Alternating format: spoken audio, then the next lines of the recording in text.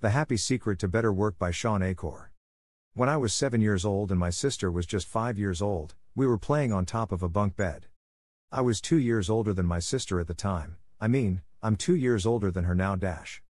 But at the time it meant she had to do everything that I wanted to do, and I wanted to play war. So we were up on top of our bunk beds. And on one side of the bunk bed, I had put out all of my G.I. Joe soldiers and weaponry. And on the other side were all my sisters, my little ponies ready for a cavalry charge. There are differing accounts of what actually happened that afternoon.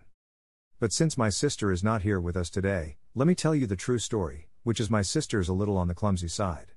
Somehow, without any help or push from her older brother at all, Amy disappeared off of the top of the bunk bed and landed with this crash on the floor. I nervously peered over the side of the bed to see what had befallen my fallen sister. And saw that she had landed painfully on her hands and knees on all fours on the ground. I was nervous because my parents had charged me with making sure that my sister and I played as safely and as quietly as possible. And seeing as how I had accidentally broken Amy's arm just one week before Dash. Heroically pushing her out of the way of an oncoming imaginary sniper bullet. For which I have yet to be thanked, I was trying as hard as I could dash. She didn't even see it coming, I was trying hard to be on my best behavior. And I saw my sister's face, this wail of pain and suffering and surprise threatening to erupt from her mouth and wake my parents from the long winter's nap for which they had settled. So I did the only thing my frantic seven year old brain could think to do to avert this tragedy. And if you have children, you've seen this hundreds of times. I said, Amy, wait. Don't cry. Did you see how you landed? No human lands on all fours like that. Amy, I think this means you're a unicorn. Now, that was cheating. Because there was nothing she would want more than not to be Amy the hurt five year old little sister, but Amy the special unicorn. Of course, this option was open to her brain at no point in the past. And you could see how my poor, manipulated sister faced conflict, as her little brain attempted to devote resources to feeling the pain and suffering and surprise she just experienced, or contemplating her newfound identity as a unicorn. And the latter one. Instead of crying or ceasing our play, instead of waking my parents, with all the negative consequences for me. A smile spread across her face and she scrambled back up onto the bunk bed with all the grace of a baby unicorn, with one broken leg. What we stumbled across at this tender age of just five and seven, we had no idea at the time dash. Was was going be at the vanguard of a scientific revolution occurring two decades later in the way that we look at the human brain.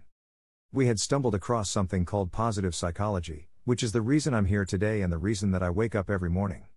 When I started talking about this research outside of academia, with companies and schools, the first thing they said to never do is to start with a graph. The first thing I want to do is start with a graph. This graph looks boring, but it is the reason I get excited and wake up every morning. And this graph doesn't even mean anything, it's fake data. What we found is, if I got this data studying you, I would be thrilled, because there's a trend there. And that means that I can get published, which is all that really matters. There is one weird red dot above the curve, there's one weirdo in the room. I know who you are, I saw you earlier, that's no problem. That's no problem, as most of you know, because I can just delete that dot. I can delete that dot because that's clearly a measurement error. And we know that's a measurement error because it's messing up my data. So, one of the first things we teach people in economics, statistics, business, and psychology courses is how, in a statistically valid way, do we eliminate the weirdos? How do we eliminate the outliers so we can find the line of best fit? Which is fantastic if I'm trying to find out how many Advil the average person should be taking, too. But if I'm interested in your potential, or for happiness or productivity or energy or creativity, we're creating the cult of the average with science. If I asked a question like, How fast can a child learn how to read in a classroom? Scientists change the answer to How fast does the average child learn how to read in that classroom? And we tailor the class towards the average. If you fall below the average, then psychologists get thrilled, because that means you're depressed or have a disorder, or hopefully both. We're hoping for both because our business model is if you come into a therapy session with one problem, we want to make sure you leave knowing you have 10, so you keep coming back. We'll go back into your childhood if necessary, but eventually we want to make you normal again. But normal is merely average. And positive psychology posits that if we study what is merely average, we will remain merely average. Then instead of deleting those positive outliers, what I intentionally do is come into a population like this one and say, why? Why are some of you high above the curve in terms of intellectual, athletic, musical ability, creativity, energy levels.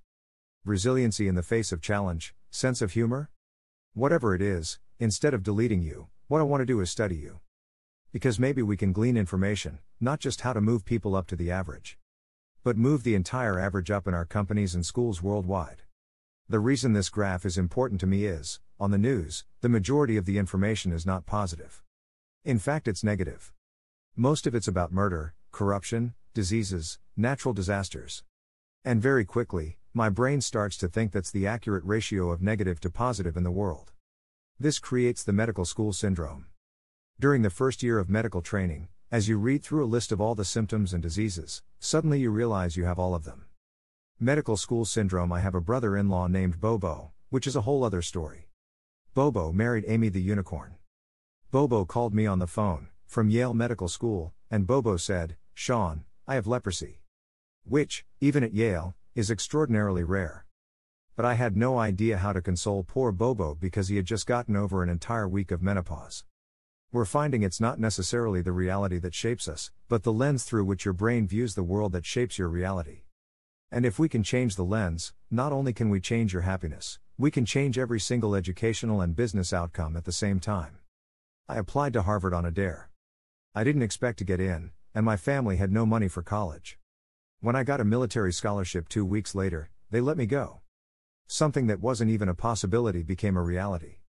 I assumed everyone there would see it as a privilege as well, that they'd be excited to be there. Even in a classroom full of people smarter than you, I felt you'd be happy just to be in that classroom. But what I found is, while some people experience that, when I graduated after my four years, and then spent the next eight years living in the dorms with the students. Harvard asked me to, I wasn't that guy. I was an officer to counsel students through the difficult four years. And in my research and my teaching, I found that these students, no matter how happy they were with their original success of getting into the school, two weeks later their brains were focused, not on the privilege of being there, nor on their philosophy or physics, but on the competition, the workload, the hassles, stresses, complaints. When I first went in there, I walked into the freshman dining hall. Which is where my friends from Waco, Texas, which is where I grew up, I know some of you know this. When they'd visit, they'd look around, and say, this dining hall looks like something out of Hogwarts. It does, because that was Hogwarts and that's Harvard. And when they see this, they say, Why do you waste your time studying happiness at Harvard? What does a Harvard student possibly have to be unhappy about? Embedded within that question is the key to understanding the science of happiness. Because what that question assumes is that our external world is predictive of our happiness levels, when in reality, if I know everything about your external world, I can only predict 10% of your long term happiness. Happiness 90% of your long term happiness is predicted not by the external world, but by the way your brain processes the world. And if we change it, if we change our formula for happiness and success, we can change the way that we can then affect reality. What we found is that only 25% of job successes are predicted by IQ, 75% of job successes are predicted by your optimism levels, your social support, and your ability to see stress as a challenge instead of as a threat. I talked to a New England boarding school, probably the most prestigious one, and they said, We already know that. So every year, instead of just teaching our students, we have a wellness week. And we're so excited.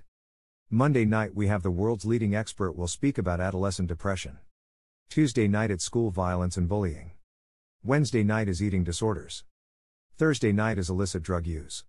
And Friday night we're trying to decide between risky sex or happiness. I said, that's most people's Friday nights. Which I'm glad you liked, but they did not like that at all. Silence on the phone. And into the silence, I said, I'd be happy to speak at your school, but that's not a wellness week, that's a sickness week. You've outlined all the negative things that can happen, but not talked about the positive. The absence of disease is not health. Here's how we get to health we need to reverse the formula for happiness and success. In the last three years, I've traveled to 45 countries, working with schools and companies in the midst of an economic downturn.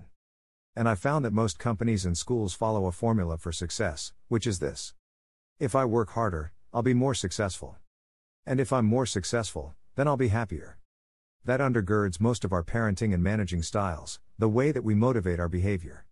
And the problem is it's scientifically broken and backwards for two reasons. Every time your brain has a success, you just change the goalpost of what success looked like. You got good grades, now you have to get better grades, you got into a good school and after you get into a better one. You got a good job, now you have to get a better job, you hit your sales target, we're going to change it. And if happiness is on the opposite side of success, your brain never gets there. We've pushed happiness over the cognitive horizon, as a society. And that's because we think we have to be successful, then we'll be happier. But our brains work in the opposite order. If you can raise somebody's level of positivity in the present, then their brain experiences what we now call a happiness advantage. Which is your brain at positive performs significantly better than at negative, neutral, or stressed. Your intelligence rises, your creativity rises, your energy levels rise. In fact, we've found that every single business outcome improves. Your brain at positive is 31% more productive than your brain at negative, neutral, or stressed. You're 37% better at sales. Doctors are 19% faster, more accurate at coming up with the correct diagnosis. When positive instead of negative, neutral, or stressed. Which means we can reverse the formula. If we can find a way of becoming positive in the present, then our brains work even more successfully as we're able to work harder, faster, and more intelligently. We need to be able to reverse this formula so we can start to see what our brains are actually capable of. Because dopamine, which floods into your system when you're positive, has two functions. Not only does it make you happier, it turns on all of the learning centers in your brain, allowing you to adapt to the world in a different way. We've found there are ways that you can train your brain to be able to become more positive. In just a two minute span of time done for 21 days in a row, we can actually rewire your brain, allowing your brain to actually work more optimistically and more successfully. We've done these things in research now in every company that I've worked with. Getting them to write down three new things that they're grateful for for 21 days in a row, three new things each day. And at the end of that, their brain starts to retain a pattern of scanning the world not for the negative, but for the positive first.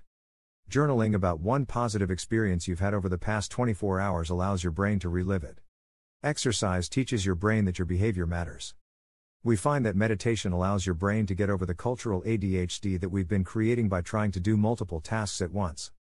And allows our brains to focus on the task at hand. And finally, Random acts of kindness are conscious acts of kindness. We get people, when they open up their inbox, to write one positive email. Praising or thanking somebody in their support network. And by doing these activities and by training your brain just like we train our bodies, what we've found is we can reverse the formula for happiness and success. And in doing so, not only create ripples of positivity, but a real revolution. Thank you very much. Thanks for watching. Please like, share, and subscribe.